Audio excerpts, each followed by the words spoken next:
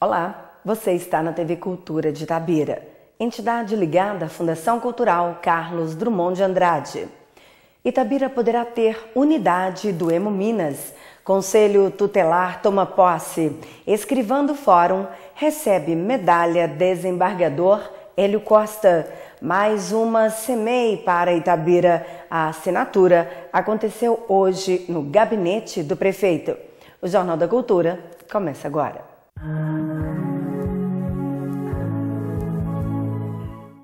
A partir de hoje, pessoas de nossa comunidade participarão aqui do Jornal da Cultura Vivenciando o Natal com todos nós. Doar. A Hemominas tem por finalidade garantir a oferta de sangue e hemoderivados. E agora, Itabira tem a possibilidade de implantar uma unidade do Hemominas aqui na cidade. Quando a Hemominas realiza a campanha de doação de sangue em Itabira, a solidariedade vem não somente de nossa cidade, mas toda a região. Observando este grande movimento pela vida, que os vereadores Tãozinho Leite e Sueliton solicitaram uma reunião na sede da administração da Hemominas, com a assessora técnica e o prefeito da Amor, para conhecer a proposta de implantação de uma unidade em Itabira. Com esta implantação, as doações poderão acontecer com mais frequência e tranquilidade. Será um grande ganho, onde possibilitará o aumento de arrecadação de bolsas de sangue, podendo salvar milhares de vidas. Começamos uma discussão lá atrás, né, na Câmara Municipal, né, junto com também uma discussão ampla junto com o Executivo, né, através do projeto de lei? E nessa iniciativa a gente está buscando hoje essa oportunidade aqui para a gente levar né, o banco de sangue lá para Itabira, para que o cidadão itabirano tenha mais conforto, tenha mais né, é, uma, condições de fazer seu próprio colhimento de sangue dentro de Itabira. Eu acho que isso é muito importante, é um passo que a gente começou a dar aqui e temos certeza, essa é a primeira caminhada, a primeira luta e vamos conseguir para Itabira. Itabira merece e precisa dessa oportunidade dentro da própria cidade. Eu fico muito feliz de estar participando deste evento, porque é, juntamente com o Tomzinho, né, os eleitos, a gente conseguiu entrar com um projeto aí de conscientização, de, de doação de sangue, e agora com esse contato, né, com, através da, da secretaria, do, dos assessores de, de Léo Portela, conseguimos entrar em contato com a, a, o pessoal do Hemominas, e estamos aqui agora com o executivo, com o Damon, com o seu secretariado. Eu acho que o primeiro passo muito importante que a gente deu aqui hoje, é, dentro de várias reuniões que acontecerão com certeza. Itabira será um polo de coleta de sangue, vai ser muito bom isso aí. E eu fico muito feliz de participar, de ter dado essa, é, estar participando dessa iniciativa juntamente com o nosso vereador Tomzinho. E eu tenho certeza que Itabira tem a ganhar a região a ganhar muito, só de você não precisar mais de enfrentar 381 para doar o seu sangue e as pessoas perto da sua casa ter a possibilidade dessa doação, isso é muito importante. Foi apresentado pela assessora os documentos necessários para esta implantação. Mais um passo visando a qualidade de vida e saúde. É uma estrutura que vai é, é ser implantada para fazer a coleta de sangue, seja semanalmente, quinzenalmente, é, e a gente direcionar esse sangue colhido em Itabira para poder ser beneficiado aqui em Belo Horizonte, que seria a referência nossa. É, fomos muito bem aceitos aqui, é, é recebidos aqui pela, pela equipe do Hemominas, pela doutora Marilene. É, é, estamos aí discutindo os processos, qual que é a parte que, que deve ser desenvolvida pela Hemominas e qual a parte deve ser desenvolvida pelo município. E isso tudo vai de encontro àquilo que a gente quer para a saúde da cidade de Tabira, que é, é elevar Itabira para a alta complexidade, cirurgias cardíacas, tratamentos oncológicos. Né? Para isso, a gente precisa criar uma condição é, é, de facilitação para que as pessoas possam doar sangue. Não só as pessoas de Itabira, que sempre tiveram esse espírito altruístico de ajudar o próximo, mas também de todas as cidades da região, que é muito mais fácil para quem está em Barão, Santa Bárbara, Itambé, Santa Maria, Ferros, chegar a Itabira e doar sangue do que vir até Belo Horizonte. Né? E aí dessa estrutura construída, dessa estrutura criada, nós encaminharemos esse sangue para Belo Horizonte para ser beneficiado e Itabira terá um, uma condição de atendimento nos, através dos hemos derivados maior ainda. Né? É uma, mais um passo sendo dado para, se Deus quiser, futuramente uma grande conquista para a cidade de Tabira. Apoiando as ações desta gestão, pensando sempre no bem-estar de todos. Este é o pensamento do Gabriel Quintão, que representou o deputado Léo Portela neste encontro. Essa questão da implantação do Hemominas em Tabira, ela vai de encontro com o que é o propósito do deputado Léo Portela, com o que é o nosso projeto de contribuir para uma Itabira. Então, mais uma vez, é uma questão da renovação e uma política pública forte e necessária na nossa cidade, porque a gente sabe de como é é, perigoso, de como é caro o deslocamento das pessoas de Belo Horizonte a Itabira, de Itabira a Belo Horizonte, nesse trajeto. Então, com a implantação desse, dessa política pública em Itabira, a gente economiza e evita acidentes. Então, assim, é mais uma vez o deputado Léo Portela renova o compromisso junto ao Poder Executivo, ao Poder Legislativo de Itabira e continuamos abraçando a cidade e renovando nosso compromisso. Doar sangue é um ato de amor com esta unidade da Hemominas em nossa cidade, este ato será praticado com muito mais intensidade. Sejamos parceiros desta causa. Confira as oportunidades de emprego. Uma vaga para auxiliar de marcenaria, experiência de seis meses, salário a combinar, ter experiência com móveis planejados, fabricação e montagem e habilitação, categoria A ou B. Uma vaga para babá, experiência de seis meses, salário a combinar, trabalhar no bairro Amazonas, ter disponibilidade para dormir no emprego e viajar esporadicamente.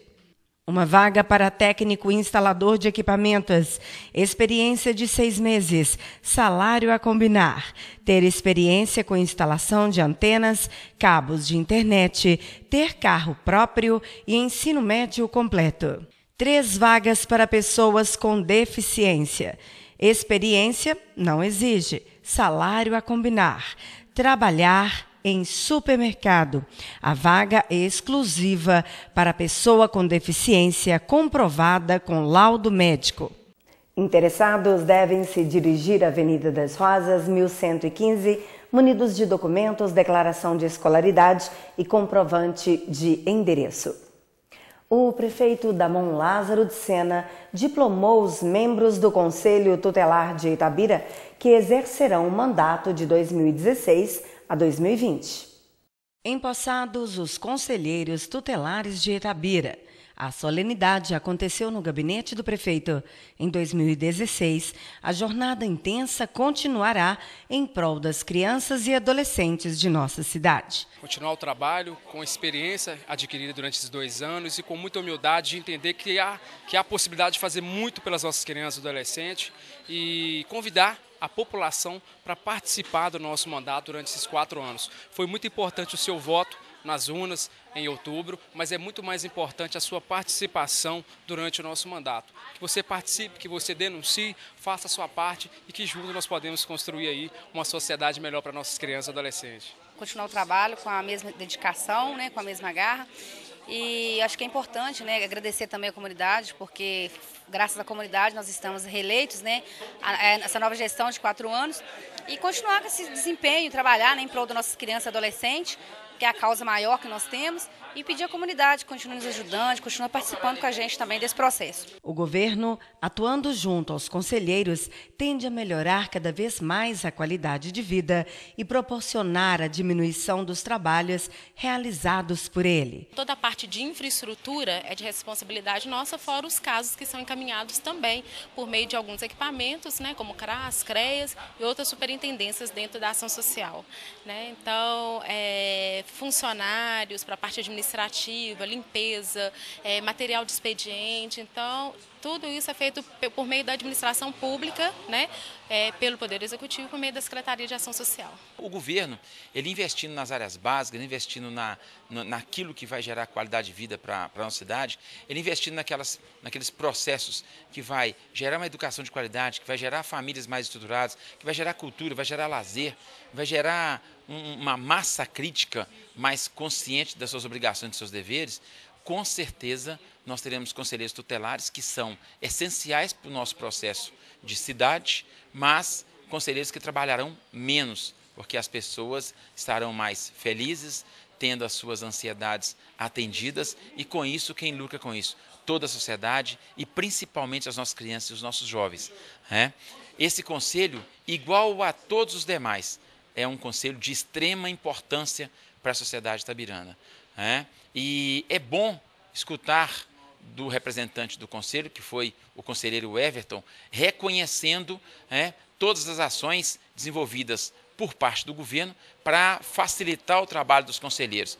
Escutar o, o Everton falando que é, não existiu governo anteriormente que tenha dado tanta condição de trabalho para o Conselho Tutelar, isso é uma satisfação muito grande para o governo e mostra que nós estamos no caminho certo para construir uma cidade, uma cidade melhor é, e mais digna de se viver todo dia. A eleição na cidade aconteceu tranquilamente. Pode-se recordar a participação intensa da comunidade. Agora é atuar junto aos órgãos competentes para desenvolver ainda melhor suas atividades. O Conselho da Criança e Adolescente junto com o apoio da prefeitura. E em vez de contratar uma empresa, foram feitos com o apoio do Ministério Público, a prefeitura cedeu os funcionários onde que teve a prova, onde que foram feitos os testes de psicotécnico e sim, na maior lisura, na maior competência, né? E nós não tivemos nenhum problema. Há uma intercorrência aqui ou outra ali, mas onde que o apoio do Ministério Público, junto com o doutor Renato, sim, foi de fundamental importância. Né? E o Conselho da Criança e do Adolescente, onde nós temos hoje conselheiros competentes, comprometidos, e que resultou no que a gente tem hoje, nessa diplomação com conselheiros. Hoje, quatro sendo reconduzidos, uma novata. Sabemos da importância de um conselho tutelar na nossa comunidade, junto com a criança, com o adolescente. Sabemos que não é fácil, mas eu, o que eu posso falar é que é, eles são comprometidos e o governo vai estar, né, está tendo, junto com o Conselho da Criança e do Adolescente, por todo o apoio que a gente possa dar. O Conselho Tutelar é um órgão importante na sociedade e tem por objetivo cuidar dos casos que envolvam a violação ou ameaça a crianças e adolescentes, zelando por suas integridades junto às suas famílias. Em instantes, prefeito assina ordem de serviço para mais um CEMEI na cidade. Funcionária de carreira do Fórum recebe medalha desembargador Hélio Costa.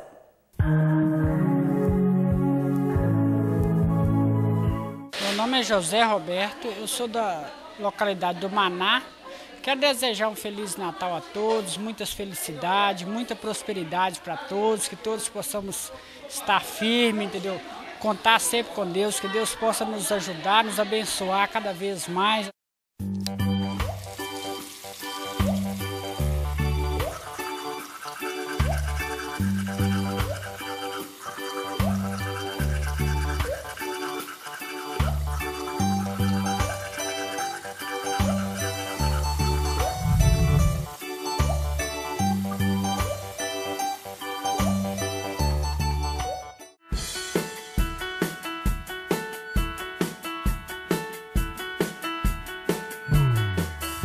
Empresa de Desenvolvimento de Itabira passa por investimentos desde 2013.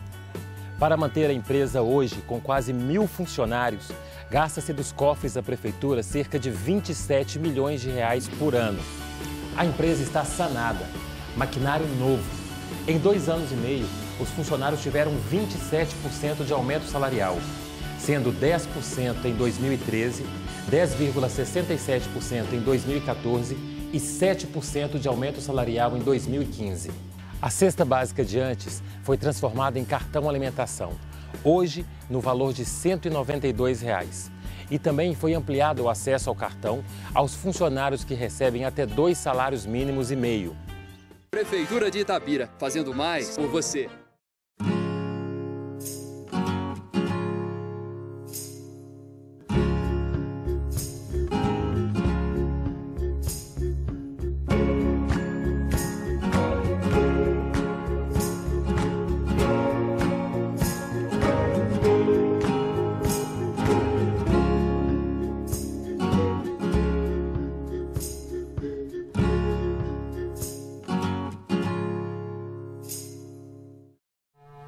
Poupar água. Não há nada pior do que um dia sem água, não é mesmo? Precisamos saber poupar. Um banho de 15 minutos pode gastar até 240 litros d'água. Solução: diminua sua ducha para uns 5 minutos e feche sempre a torneira para se ensaboar. O que são 10 minutos na sua semana? 10 minutos por semana é o tempo que você leva para acabar com o mosquito da dengue. O ciclo de vida dele, do ovo à fase adulta, é de 7 a 10 dias. Se você verificar os focos uma vez por semana, vai interromper esse ciclo e eliminar o mosquito. Vamos lá, é muito pouco tempo para um ganho tão grande. 10 minutos contra a dengue. Tire um tempinho e tome uma atitude. Minas Gerais, governo de todos. A lâmpada do poste queimou? Ligue agora! 0800 666 2001. Prefeitura de Itabira, fazendo mais por você. Um Feliz Natal, que Deus replete sua vida de alegria e muita paz.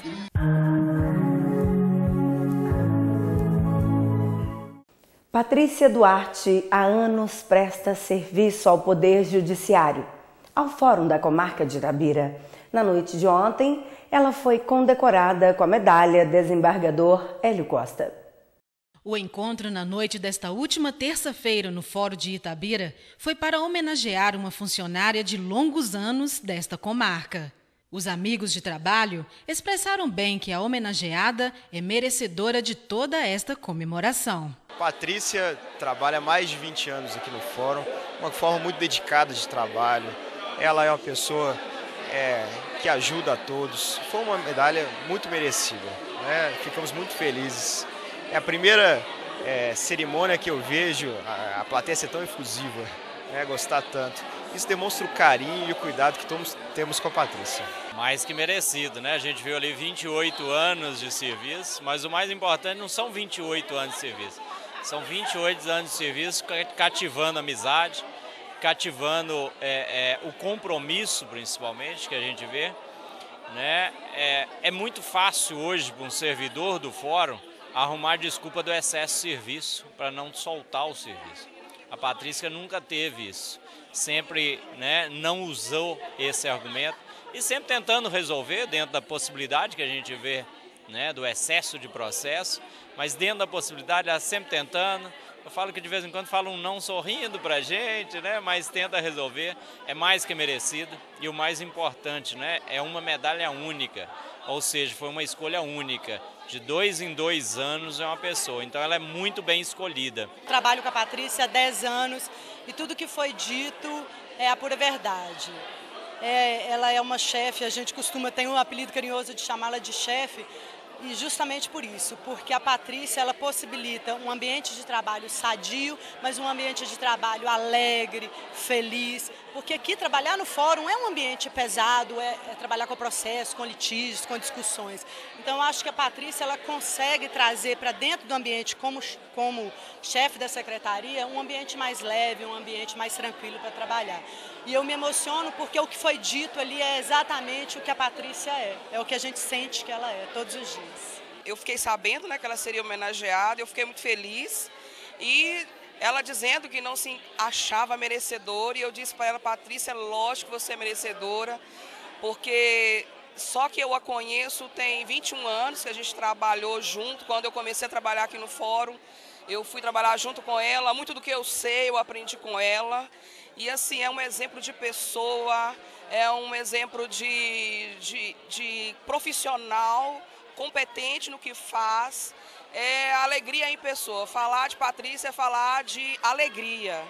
Ela contagia aqueles que estão ao redor dela com um sorriso e é prazeroso trabalhar no Tribunal de Justiça, trabalhar aqui no Fórum de Tabira, tendo a companhia dela.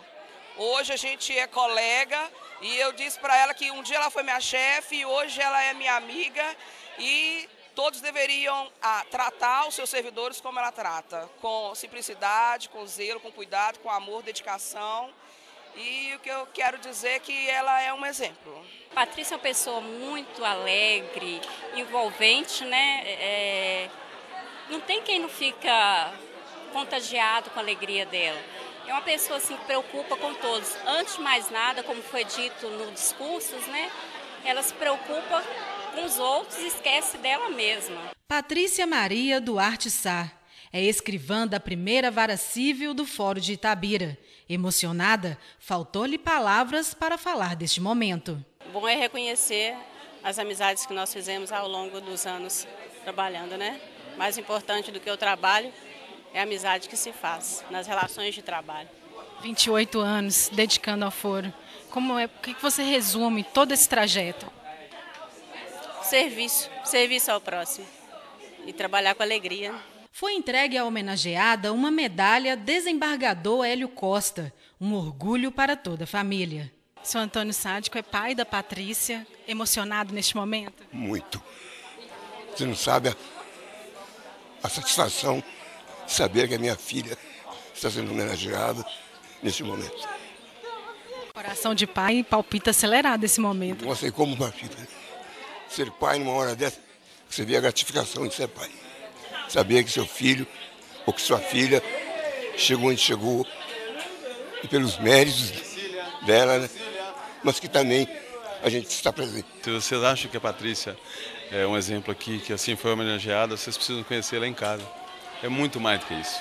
Ela traz isso de casa, do meu pai, da minha família, da minha mãe. E ela é o exemplo da minha família. Patrícia é mais do que merecedora. Não tem, a gente não tem coisas que a gente não tem palavra, a não ser sorrir e abraçar. É o mínimo que a gente pode fazer. Eu agradeço a vocês, agradeço a Itabira, agradeço a todo mundo e principalmente agradeço a ela por nos dar também esse privilégio, essa alegria de vê-la assim. A medalha desembargador Hélio Costa é destinada a agraciar aqueles que prestam ou tenham prestado relevantes serviços ao poder público judiciário local. Pelos aplausos de pé e pelos longos abraços, não há dúvidas do grande trabalho realizado nesses 28 anos de carreira da homenageada. No próximo sábado, dia 20, a Diocese de Itabira e Coronel Fabriciano comemora os 90 anos do Bispo Emérito Dom Leles Lara. Participe da missa de ação de graças às 19h30 na Catedral Diocesana. Itabira vai receber mais uma CEMEI. Desta vez, a construção será no bairro Fênix. A assinatura de ordem de serviço para a construção do Centro Municipal de Educação Infantil, CEMEI, aconteceu na tarde desta quarta-feira no gabinete do prefeito. Presentes Hugo Guerra, representante da empresa Ura Construtora Limitada, o secretário municipal de obras, Sebastião Aires, a secretária municipal de educação, Luciane Maria Ribeiro, o vereador do distrito de Senhora do Carmo, José Mauro de Oliveira, além da imprensa. A secretária de Educação disse sobre o início e término da construção, que se encerrará em novembro de 2016, e falou também sobre a forma educacional a ser implantada no CEMEI. Nós temos uma filosofia de trabalho construída. Essa filosofia de trabalho é ancorada em princípios legais, em princípios pedagógicos, em todas as pesquisas sobre educação infantil. E o que a CMEI, o que a construção da rede física permite é que todo esse plano de trabalho ocorra num ambiente de maior qualidade, num ambiente pensado exclusivamente para aquela criança. Mas o plano de trabalho não se altera. O plano de trabalho, ele é definido de acordo com uma legislação nacional, todo um conjunto de pesquisas científicas para a educação é, infantil e toda pesquisa local da Secretaria de Educação para o tipo de atendimento que a gente faz. O vereador José Mauro pontuou a importância do SEMEI para Itabira. É um ganho muito grande para o município de Itabira. Acho que o investimento em educação, o município está no caminho certo, né? porque as pessoas, a partir do momento que começam a educação melhor, a pessoa melhora a qualidade de vida, até para o município em todo, é um ganho de um modo geral. As pessoas têm melhores condições de trabalho, é um, é, realmente as pessoas vão estar preparando para um futuro melhor para seus filhos, é um ganho para todo o município de Itabeira. O prefeito Damon Lázaro de Sena chamou a atenção para a qualidade do ensino e a importância da educação ser base para a vida. Nós estamos aí com mais essa conquista, assinando hoje uma segunda ordem de serviço já de três CMEs que foram licitadas. Nós temos mais duas ainda que serão construídas no bairro Santa Marta. Estamos aí é, tramitando com a regularização do terreno lá no Santa Marta para a gente conseguir construir essa CMEI. Temos que agradecer muito o deputado federal Reginaldo Lopes por ter nos ajudado nessas conquistas junto ao MEC, junto ao Ministério da Educação. Prioridade número um do governo, educação. Por quê? Porque investir em educação, tendo um, um, um país, uma cidade, um estado, uma população, uma massa crítica mais consciente, mais bem informada dos seus direitos e seus deveres, nós teremos um país é, muito mais harmonioso, muito mais feliz, muito mais otimista, tendo a certeza de que seus sonhos é, serão realizados, né? mantendo esse fogo da esperança sempre aceso de, de que a perspectiva de futuro para essa nova geração ela deve ser construída e deve ser uma boa perspectiva. Então, por isso a, a educação é o princípio básico nosso, é, é a prioridade do governo. Final do Jornal da TV Cultura de Itabira. Entidade ligada à Fundação Cultural Carlos Drummond de Andrade. Nosso jornal vai ao ar de segunda-feira a sábado, às 19h30, com reprise, ao meio-dia. Você acompanha também o jornal pelo YouTube ou fanpage do Facebook TV Cultura Itabira. Obrigada pela audiência.